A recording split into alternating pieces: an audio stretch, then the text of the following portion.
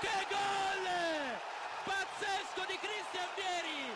È tornato dopo 18 mesi e 10 giorni in un modo che nessuno si poteva immaginare. È il gol dell'anno, è il gol di Bobo,